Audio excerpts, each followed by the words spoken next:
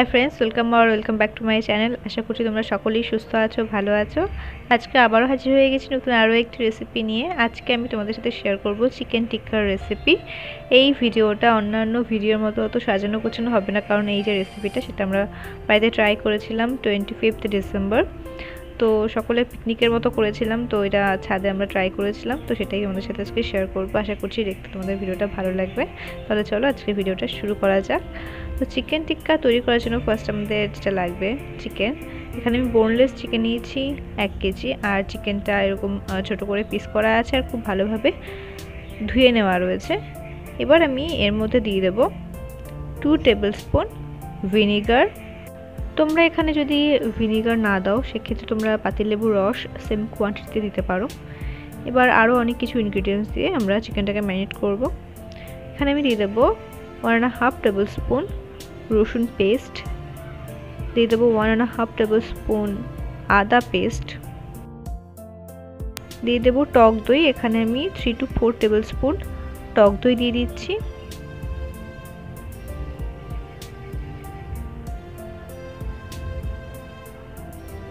দিয়ে দিচ্ছি স্বাদ মতো নুন। দিচ্ছি ওয়ান টেবিল স্পুন গোলমরিচের গুঁড়ো।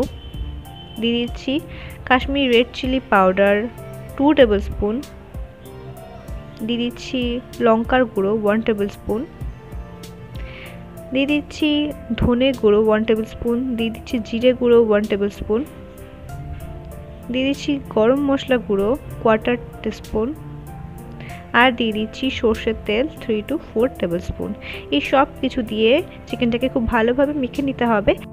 আর সব থেকে ভালো হয় তোমরা যদি চিকেনটা ম্যারিনেট করে ওয়ান নাইটের জন্য রেখে দিতে পারো। আর যদি হাতে তোমাদের কম সময় থাকে, তাহলে থ্রি টু ফোর আওয়ার জন্য রাখতে পারো। আমি ওভারনাইট রেখেছিলাম। তো যেহেতু বললাম যে টোয়েন্টি ফিফথ ডিসেম্বর এটা করা হয়েছিল, তো এই যে ম্যারিনেশন প্রক্রিয়াটা, এটা হয়েছে টোয়েন্টি ফোর্থ ডিসেম্বর রাতে। তো ওভারনাইট ম্যারিনেট করে রাখার পর, পরের দিন সন্ধ্যাবেলা মানে টোয়েন্টি ফিফথ ডিসেম্বর আমরা চিকেন টিক্কাটা তৈরি করেছি। আমাদের কাছে চিকেন টিক্কার মোটা স্টিক ছিল না, আমাদের কাছে সরু সরু স্টিক ছিল। তো আমরা কি করেছি, দু তিনটে স্টিক একসাথে জড়ো করে তারপরে চিকেনগুলোকে স্টিকের মধ্যে ঢুকিয়ে দিচ্ছি তোমাদের কাছে যদি সেই মোটা স্টিকগুলো থেকে থাকে, তো তার মধ্যে চিকেনগুলোকে এইভাবে কেটে নেবে।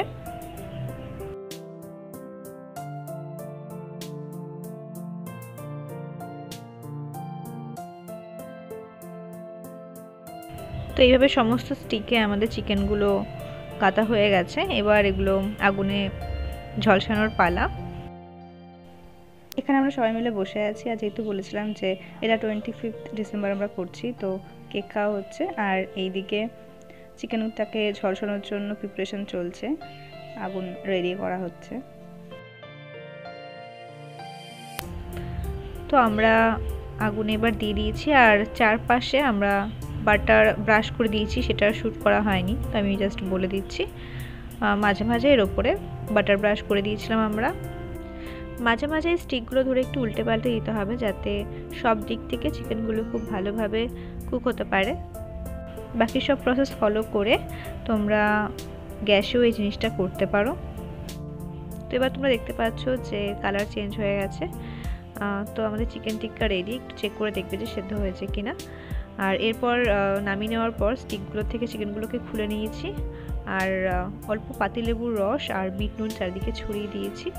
সেটা আবার শ্যুট করা হয়নি, আমি জাস্ট বলেই দিলাম। তোমরা এভাবে বাড়িতে বানিয়ে ট্রাই করো, আশা করছি ভালো লাগবে। আর রেসিপিটি ভালো লেগে থাকলে লাইক আর শেয়ার করতে ভুলো না। নতুন হয়ে থাকলে আমার চ্যানেলটিকে সাবস্ক্রাইব করে যাও। আমার চ্যানেলের পাশে থেকো। Tata bye bye